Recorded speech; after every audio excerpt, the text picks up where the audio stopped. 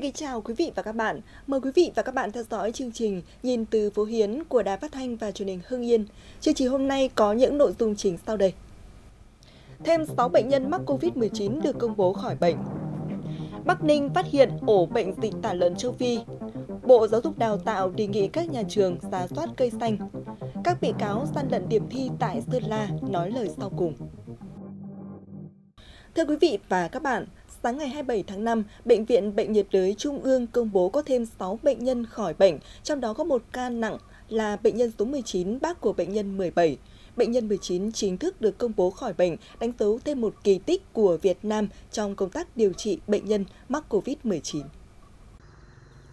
Bệnh nhân 19, 64 tuổi ở Trúc Bạch, Ba Đình, Hà Nội vào viện ngày 6 tháng 3 năm 2020 là trường hợp có tình trạng nặng nhất trong số các bệnh nhân COVID-19 được điều trị tại Bệnh viện Bệnh nhiệt đới Trung ương tính đến thời điểm này. Bệnh nhân đã từng phải can thiệp thở máy xâm nhập ECMO, tim phổi nhân tạo. Bệnh nhân đã từng ngừng tim 3 lần. Tình trạng hiện tại của bệnh nhân 19 đã có 7 lần kiểm tra đều âm tính với SARS-CoV-2. Các trường hợp khỏi bệnh khác là bệnh nhân 52, bệnh nhân dương tính lại nhiều lần trước đó, bệnh nhân 291, bệnh nhân 295, bệnh nhân 308, bệnh nhân 324. Các bệnh nhân trên sẽ được theo dõi tiếp tục trong thời gian 14 ngày tiếp theo. Tính đến thời điểm này, Việt Nam đã điều trị thành công cho 278 bệnh nhân trên tổng số 327 trường hợp mắc COVID-19. Thông tin từ Ban Chỉ đạo Quốc gia phòng chống dịch bệnh COVID-19, tính đến 6 giờ ngày 28 tháng 5, đã 42 ngày Việt Nam không có ca lây nhiễm trong cộng đồng. Cũng tính đến thời gian này, Việt Nam có tổng cộng 187 ca nhiễm nhập cảnh được cách ly ngay. Tổng số người tiếp xúc gần và nhập cảnh từ vùng dịch đang được theo dõi sức khỏe, cách ly y tế là 9.797 người. Về tình hình điều trị, theo báo cáo của Tiểu ban Điều trị Ban Chỉ đạo Quốc gia phòng chống dịch COVID-19, số ca âm tính lần 1 với SARS-CoV-2 là 6 ca, số ca âm tính lần 2 trở lên là 5 ca. Bộ Tài chính đã ban hành thông tư số 43, 44 và 45 nhằm tiếp tục thực hiện các giải pháp cấp bách hỗ trợ các đối tượng bị ảnh hưởng bởi dịch bệnh COVID-19. Theo đó, Bộ đã giảm phí lệ phí đồng loạt ở mức 50% đối với các loại phí thẩm định liên quan đến các lĩnh vực xuất bản, kinh doanh hàng hóa, cấp giấy phép thành lập sở giao dịch hàng hóa, phí đăng ký xác nhận sử dụng mã số, mã vạch nước ngoài và lệ phí sở hữu công nghiệp – các thông tư trên có hiệu lực thi hành từ ngày 26 tháng 5 đến hết ngày 31 tháng 12 năm 2020. Kể từ ngày 1 tháng 1 năm 2021 trở đi, các quy định nộp phí trên sẽ trở lại quy định trước ngày 26 tháng 5 năm 2020. Chi cục chăn nuôi và thú y tỉnh Bắc Ninh cho biết, từ ngày 13 đến ngày 23 tháng 5 đã phát hiện hai ổ bệnh dịch tả lợn châu Phi xảy ra tại hai hộ chăn nuôi ở hai xã Trạm Lộ và Thanh Khương của huyện Thuận Thành, là 112 con lợn mắc bệnh chết và buộc phải tiêu hủy với tổng trọng lượng trên một tấn. Ngay sau khi bệnh dịch xảy ra, Chi cục chăn nuôi và thú y tỉnh đã chỉ đạo hướng dẫn tiêu hủy toàn bộ lợn ốm chết theo đúng quy trình kỹ thuật – hướng dẫn hộ có dịch thực hiện tiêu độc khử trùng chuồng nuôi và khu vực xung quanh bằng vôi bột hóa chất, hướng dẫn các hộ chăn nuôi cách ly chăm sóc nuôi dưỡng đàn lợn khỏe mạnh, đồng thời cam kết không được vận chuyển, giết mổ hoặc đưa lợn ra khỏi địa bàn cho đến khi có thông báo hết dịch. Đến nay, tổng đàn lợn trên địa bàn tỉnh Bắc Ninh có khoảng 300.000 con, giảm 20% so với cùng kỳ năm 2019. Trước tình trạng một số ổ dịch mới phát hiện, Bộ Nông nghiệp và Phát triển Nông thôn đã có công văn về việc tập trung kiểm soát bệnh dịch tả lợn châu Phi tái phát, lây lan diện rộng. Từ đầu năm đến nay, bệnh dịch tả lợn châu Phi tái phát tại 155 xã của 20 tỉnh, thành phố, buộc tiêu hủy gần 4.000 con lợn. Bộ Nông nghiệp và Phát triển Nông thôn nhận định, nguy cơ dịch bệnh tái phát lây lan diện rộng là rất lớn, ảnh hưởng nghiêm trọng đến việc tổ chức tái đàn, tăng đàn lợn và đảm bảo nguồn cung thịt lợn. Để khẩn trương kiểm soát ngăn chặn các ổ dịch tái phát lây lan diện rộng, đồng thời khắc phục khó khăn tồn tại bất cập nêu trên, Bộ yêu cầu các tỉnh, thành phố chủ động triển khai giám sát để phát hiện sớm, kịp thời xử lý dứt điểm ngay khi phát hiện lợn mắc bệnh, nghi mắc bệnh dịch tả lợn châu Phi. Đồng thời các tỉnh, thành phố xử lý nghiêm các trường hợp không báo cáo dịch bệnh, bán chạy, giết mổ, vứt xác lợn bệnh, nghi mắc bệnh ra môi trường, tăng cường kiểm soát chặt chẽ việc vận chuyển lợn, đặc biệt là vận chuyển buôn bán lợn để nuôi thương phẩm, đưa lợn đến cơ sở giết mổ.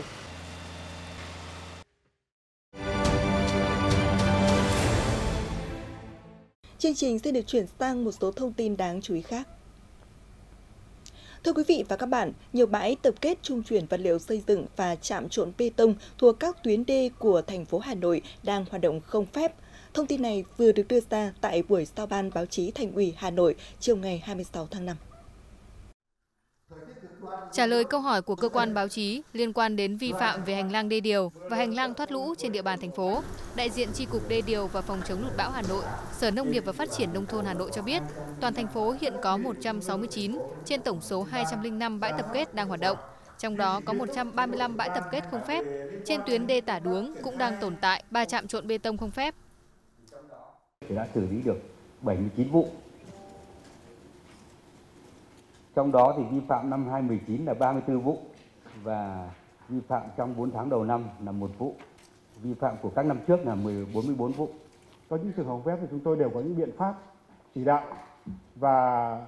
tổng hợp vào cái danh sách à, liên quan đến trách nhiệm của ừ, địa phương và thưa các chí là có cái này là có quy chế trách nhiệm của chính quyền địa phương, cấp xã, cấp à, quận, huyện và cấp sở ngành Thế cái thứ ba là liên quan tới ờ, ủy ban dân cấp huyện thị xã thì ờ, phải chỉ đạo kiên quyết về cái các cái ờ, vi phạm pháp luật về đê điều. Theo kết quả giả soát của Sở Nông nghiệp và Phát triển Nông thôn, thành phố Hà Nội hiện có 4 trọng điểm đê kè thuộc khu vực huyện Đông Anh, Phúc Thọ, Sóc Sơn, quận Bắc Từ Liêm và 12 vị trí sung yếu cần có phương án tập trung bảo vệ. Cũng theo giả soát, khu vực nội thành có 16 điểm có nguy cơ ngập úng. Hiện thành phố đã xây dựng kế hoạch phương án cụ thể với phương châm 4 tại chỗ để sẵn sàng phòng chống ứng phó, khắc phục hậu quả sự cố thiên tai và tìm kiếm cứu nạn. Thanh tra Hà Nội vừa ban hành kết luận thanh tra trong việc để xảy ra xây dựng trái phép và quá trình xử lý cưỡng chế tại công viên nước Thanh Hà, quận Hà Đông. Theo kết luận của cơ quan thanh tra, quá trình đầu tư xây dựng công viên này đã xảy ra nhiều vi phạm, trách nhiệm thuộc về chủ đầu tư và cả chính quyền địa phương. Theo kết luận thanh tra, công viên nước Thanh Hà được đánh giá là công trình xây dựng không phép. Chủ đầu tư đã xây 19 hạng mục công trình trên diện tích hơn 31.000 m2 thuộc ba ô đất đã được quy hoạch là đất công cộng, khu ở, đất cây xanh, thể dục thể thao và một phần đường giao thông nội bộ khu đô thị.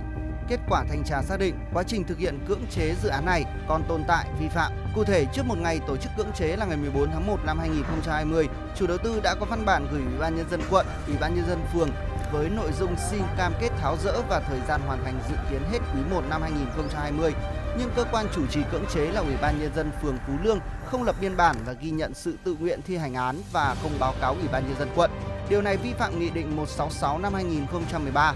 Ngoài ra, công viên nước bao gồm 19 hạng mục có giá trị có thể tháo rỡ, nhưng Ủy ban nhân dân quận đã phê duyệt phương án dùng máy xúc để phá rỡ. Như vậy là thiếu cẩn trọng, dẫn đến việc phá rỡ nhiều hạng mục có giá trị, gây bức xúc cho nhà đầu tư và băn khoăn trong dư luận.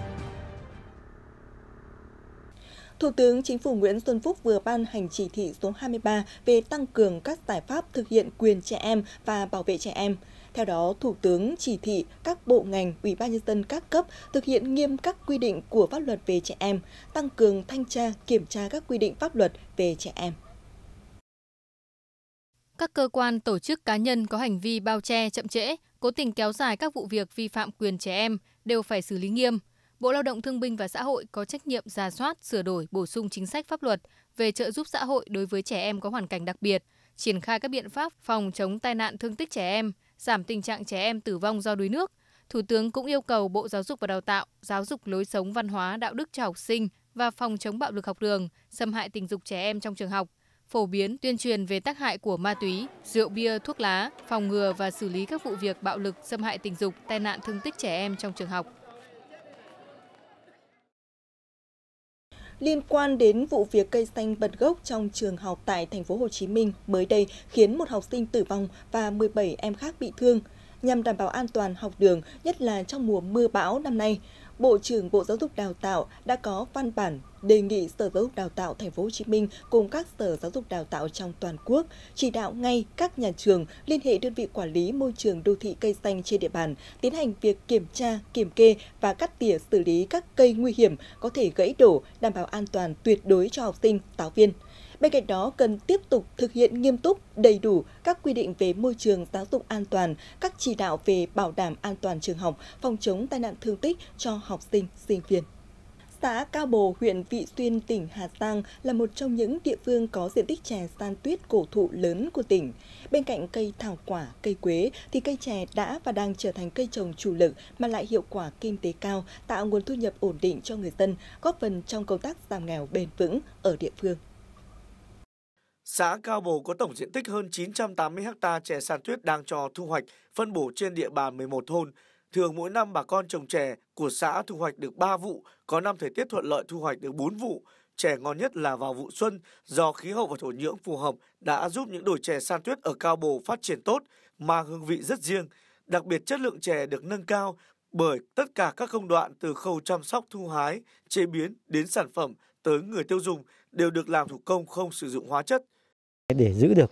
cái nguồn chè để hữu cơ thì trên ờ, ủy ban nhân xã cũng đã chỉ đạo các thôn bản xây dựng cái hương ước quy ước để giữ ờ, cái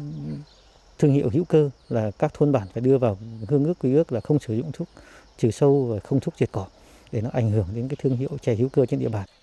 Nhờ cây chè, người dân Cao Bồ có công ăn việc làm thường xuyên, đời sống được cải thiện. Trung bình mỗi gia đình có chè thu hoạch được khoảng 40 triệu đồng một năm, có hộ thu nhập đến vài trăm triệu đồng mỗi năm. Điển hình như gia đình anh Đặng Văn Thắng ở thôn Khuổi Luông được công nhận là cá nhân tiêu biểu khởi nghiệp sản xuất chè của xã Cao Bồ. Đặc biệt anh Thắng có nhiều sáng kiến tham mưu cho thôn trong việc xây dựng hương ước để bảo vệ và phát huy giá trị cây chè san tuyết. Cây chè thì giao theo cho tục hộ rồi, nhưng mà hộ cá nhân nào mà vi phạm ấy,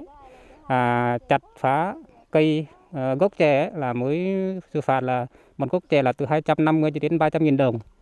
Còn về cái à, phun thuốc cho cỏ cho sâu ấy thì thôn sẽ à, phạt từ à, phạt theo sốc là mới một một gốc cây đấy mà tức là một lần đấy vi phạm nếu tùy theo à, nhiều hay ít ít thì phạt à, 100 con sóc nhằm khuyến khích các hộ dân bảo tồn chè san tuyết cổ thụ và thi đua phát triển sản xuất, xã Cao Bồ thành lập 4 nhóm sở thích sản xuất chè, mỗi nhóm có từ 10 đến 20 hộ tham gia. Trong năm 2019, gần 200 tấn chè hữu cơ của Cao Bồ đã xuất khẩu ra các nước như Trung Quốc, Bỉ, Nga, Thổ Nhĩ Kỳ. Nhưng hiện nay do dịch Covid-19 nên số lượng chè xuất khẩu giảm, phần lớn tiêu thụ trong nước. Vấn đề đặt ra hiện nay là cần có cơ chế hỗ trợ cho người trồng, chế biến chè. Bảo tồn và phát triển cây chè san tuyết đang là hướng đi đúng ở xã Cao Bồ, huyện Vị Xuyên, tỉnh Hà Giang. Qua đó, không chỉ góp phần bảo vệ, giữ gìn nguồn gen quý hiếm của giống chè vùng cao, mà còn góp phần phát triển kinh tế bền vững ở địa phương. Tuy nhiên, bà con trồng chè ở xã Cao Bồ cần sự hỗ trợ của nhà nước trong việc xây dựng thương hiệu và tìm kiếm thị trường tiêu thụ sản phẩm một cách bền vững. Thực hiện chương trình mục tiêu xây dựng nông thôn mới tại xã Cẩm Xá, thị xã Mỹ Hào, tỉnh hương Yên, phong trào hiến đất làm đường đã lan tỏa ở hầu hết các thôn xóm, góp phần không nhỏ trong việc hoàn thành các tiêu chí về đích nông thôn mới. Đạt được những kết quả đó, ngoài sự đồng thuận chung tay của nhân dân, còn có sự đóng góp công sức của những đảng viên gương mẫu đi đầu trong thực hiện phong trào tại cơ sở. Đường bê tông rộng rãi, sạch đẹp kết nối thôn Tiên Xã 1 với các thôn trong xã trước đây chỉ rộng 2 mét việc đi lại giao thương hàng hóa của người dân gặp nhiều khó khăn. Từ khi tỉnh Hưng Yên và thị xã Mỹ Hào có chủ trương làm đường bê tông nông thôn theo phương châm nhà nước và nhân dân cùng làm đã được đông đảo người dân hào hứng đón nhận và đã có hơn 10 hộ dân dọc tuyến đường này đã sẵn sàng hiến hàng trăm mét vuông đất để mở rộng đường. Thì một số dân là cái tuyên truyền thì là sẽ tự nguyện phá đất là làm đường. Thế rồi là được có đường khang trang ngày nay, thì thuận lợi cho giao thông thế rồi coi như những nhà cửa lên khang trang sạch sẽ tốt đẹp hơn để thuận lợi cho việc xây dựng kiến thiết. Thực hiện lời dạy của Bác Hồ, đảng viên đi trước, làng nước đi sau. Phong trào hiến đất được khởi xướng từ chính những đảng viên trong chi bộ, rồi lan tỏa rộng rãi khắp thôn xóm. Ngay triển khai giải phóng mặt bằng, gia đình ông Lụa là hộ đầu tiên của thôn thực hiện hiến đất. Ngày xưa đi đường cấp ca, cấp kênh đã chặt hẹp nữa. Thế nhưng bây giờ đường rộng, bây giờ lại làm ra đều như thế này. Nghe theo cái gọi của đảng bắt đầu là làm làm lợi cho dân, lợi cho coi là ừ, con cháu về sau này thế về tôi cũng bảo với vợ con các thứ, tình hình chúng ta phải hy sinh thì để làm cho coi là ừ,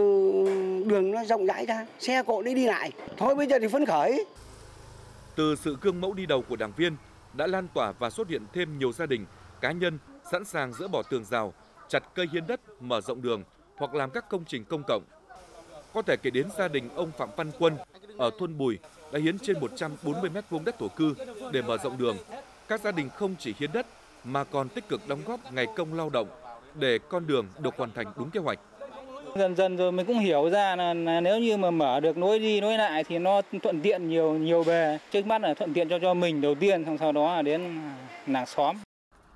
Tiếp tục phát động phong trào xây dựng nông thôn mới, từ năm 2015 đến nay đã có hơn 60 hộ dân hiến đất làm đường, trong đó đảng viên chiếm 30%, tổng diện tích hiến trên 1.000 m2. Nhờ vậy đến nay xã Cẩm Xá có 100% đường vào trung tâm xã được bê tông hóa, các đường trục liên thôn, đường nội đồng đều được cứng hóa. Trong quá trình uh, chương trình hỗ trợ xi măng đá của tỉnh, của huyện thì nhân dân đã tích cực là không những là góp công góp của gọi là hiến đất để mở rộng các ngõ xóm. Đặc biệt ở xã thì nhiều tuyến ngõ mở rộng như là ngõ một số gia đình hơn 10 hộ gia đình ở Tiên Sa 1 thế và ở thôn ờ, Bùi hộ gia đình ông Phạm Văn Quân Phạm Văn Khải. Ờ, riêng gia đình Phạm Văn Quân hiến vào, vào chưa gần 150 mét vuông đất. Từ ngõ cụt không có ngõ mà bây giờ trở thành có ngõ đi cho địa phương của nhân dân rất phấn khởi. Thế và trong chương trình nông mới chúng tôi đang tiếp tục là hoàn chỉnh và đầu tư à, để nâng cao các tiêu chí có được thành công hôm nay, các cấp chính quyền ở địa phương đã thực hiện tốt quy chế dân chủ ở cơ sở, đặc biệt đã gắn với công tác dân vận khéo. Trong công cuộc xây dựng nông thôn mới suốt 10 năm qua, ở Cẩm Xá, hiến đất làm đường đã trở thành phong trào được đông đảo người dân hưởng ứng, ủng hộ. Ven những con đường làng được bê tông hóa, hoa mỗi ngày lại nở, khoác lên bộ mặt nông thôn chiếc áo mới đầy sức sống. Qua hậu kiểm việc quảng cáo thực phẩm bảo vệ sức khỏe trên Internet và môi trường mạng, Cục An toàn Thực phẩm Bộ Y tế đã phát hiện 4 sản phẩm thực phẩm bảo vệ sức khỏe vi phạm quy định về quảng cáo, thậm chí có sản phẩm còn quảng cáo như thuốc chữa bệnh. Những sản phẩm này đều do các công ty có trụ sở tại Hà Nội công bố và chịu trách nhiệm. Các sản phẩm gồm thực phẩm bảo vệ sức khỏe Red 1000 do công ty trách nhiệm hữu hạn y tế Minh Ngọc công bố và chịu trách nhiệm, Sản phẩm thứ hai là thực phẩm bảo vệ sức khỏe Bella Slim do công ty cổ phần Arturo Việt Nam công bố và chịu trách nhiệm sản phẩm. Sản phẩm thứ ba là thực phẩm bảo vệ sức khỏe NanoFast do công ty trách nhiệm hữu hạn một thành viên Nano Việt Nam công bố và chịu trách nhiệm sản phẩm. Sản phẩm thứ tư là thực phẩm bảo vệ sức khỏe Hạ Khang Đường do công ty trách nhiệm hữu hạn thương mại SBC công bố và chịu trách nhiệm sản phẩm. Cục An toàn thực phẩm đang phối hợp với các cơ quan chức năng để xử lý vi phạm. Sau 6 ngày làm việc, chiều ngày 26 tháng 5, phiên tòa sơ thẩm xét xử 12 bị cáo liên quan đến vụ án gian lận điểm trong kỳ thi Trung học phổ thông quốc gia năm 2018 tại tỉnh Sơn La kết thúc phần tranh tụng. Trước khi nghị án, hội đồng xét xử cho các bị cáo nói lời sau cùng trước tòa. Được nói lời sau cùng, các bị cáo cho biết đã nhận thức rõ hành vi của mình là vi phạm pháp luật và mong được giảm nhẹ hình phạt. Còn bị cáo Trần Xuân Yến, nguyên Phó Giám đốc Sở Giáo dục và Đào tạo tỉnh Sơn La cho rằng mình không có động cơ, không thực hiện, không chỉ đạo ai trong hành vi sửa bài thi, nâng điểm cho thí sinh. Bị cáo Yến cũng đề nghị hội đồng xét xử không tuyên phạt tội lợi dụng chức vụ quyền hạn trong thi hành công vụ. Bị cáo Nguyễn Minh Khoa, nguyên Phó trưởng phòng an ninh chính trị nội bộ Công an tỉnh Sơn La, thừa nhận vì tình cảm nể nang đồng nghiệp, bạn bè và một số mối quan hệ khác đã nhờ xem điểm cho năm thí sinh bị cáo khẳng định mình không thực hiện hành vi phạm tội. Hội đồng xét xử nghị án và dự kiến sẽ tuyên án vào sáng ngày 29 tháng 5. Liên quan đến nghi vấn công ty Tenma Việt Nam có trụ sở tại tỉnh Bắc Ninh hối lộ công chức Việt Nam, Bộ Tài chính vừa có công văn yêu cầu tạm đình chỉ công tác 15 ngày đối với cán bộ công chức thuộc đoàn kiểm tra thuế và đoàn kiểm tra thông qua cùng lãnh đạo Cục Thuế và Cục Hải quan tỉnh Bắc Ninh. Theo đó, việc tạm đình chỉ để thực hiện công tác kiểm điểm phục vụ công tác thanh tra kiểm tra theo quy định. Trước đó, Bộ trưởng Bộ Tài chính đã giao thanh tra Bộ thành lập ngay đoàn thanh tra trong ngày 25 tháng 5 để thanh tra Cục Thuế tỉnh Bắc Ninh, Cục Hải quan Bắc Ninh và các tổ chức cá nhân có liên quan về những nghi vấn báo chí nêu. Xử lý nghiêm theo đúng các quy định của pháp luật nếu có các vi phạm và báo cáo kết quả về Bộ trước ngày 26 tháng 5.